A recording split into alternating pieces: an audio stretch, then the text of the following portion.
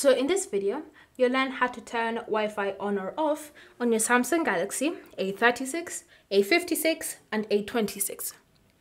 So the first step when it comes to turning Wi-Fi off or on is to simply open the settings app. Under settings, you want to tap on connections and then from here, you want to select the option Wi-Fi. The next step when it comes to disabling Wi-Fi is to simply tap on this toggle at the top to turn it off. Once it's been turned off, you, it will say to see available networks, turn on Wi-Fi, which means that you have successfully disabled it. And your phone will start automatically connecting to any nearby networks or even detecting networks that you can connect to. If you want to turn Wi-Fi on, then you can just go ahead and use the same toggle to turn it on. And then it will scan for any nearby networks. If you weren't previously connected to any networks, it will allow you to select a network to connect to.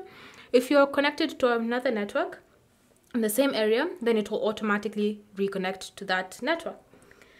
Alternatively, you can always just choose to use the quick settings menu. So all you need to do is simply swipe down from the top right corner of the screen like this to access quick settings and then you should see the Wi-Fi shortcut. So currently it's enabled, which is why it's glowing white. But if I want to turn it off, then I can just tap on that icon like that and it will be disabled. Once it turns a gray color, it means I've successfully turned off Wi-Fi.